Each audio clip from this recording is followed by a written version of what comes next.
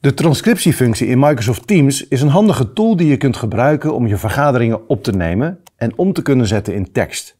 En zo kun je altijd teruglezen wat er gezegd is, wie wat gezegd heeft en welke actiepunten of besluiten er zijn genomen. Met Copilot voor Microsoft 365 wordt het echter nog leuker om te gebruiken. De transcriptiefunctie is nu al beschikbaar voor iedereen die Microsoft Teams gebruikt, zelfs zonder Copilot.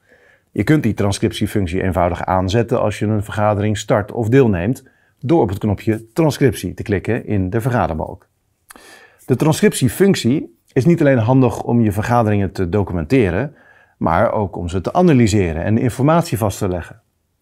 Met de transcriptiefunctie kun je bijvoorbeeld zien hoe lang je vergadering duurde, hoeveel mensen er gesproken hebben, hoe vaak er onderbroken werd of hoe duidelijk de agenda en de doelen waren.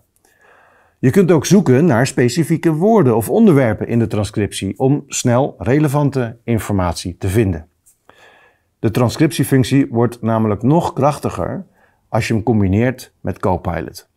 Copilot is een chatbot die je kunt raadplegen tijdens of na je vergadering in Teams. Je kunt Copilot vragen stellen over de transcriptie van de vergadering en Copilot zal je antwoord geven op basis van de inhoud van de vergadering. Met Copilot kun je bijvoorbeeld vragen om een samenvatting van de vergadering te maken of om de actiepunten of besluiten te zien, om de highlights of de belangrijkste punten te identificeren of om meer informatie te krijgen over een specifiek onderwerp wat is besproken. Copilot samen laten werken met Teams is een van de meest pragmatische toepassingen die voor veel vergadertijgers een hele mooie aanwinst gaat zijn. Het is een persoonlijke notulist die nauwkeurig bijhoudt wat er uitgesproken is. En dat doet hij opvallend goed en accuraat. En die transcriptiefunctie is dus voor iedereen nu al te gebruiken. Zet hem dus nu al aan en doe er je voordeel mee.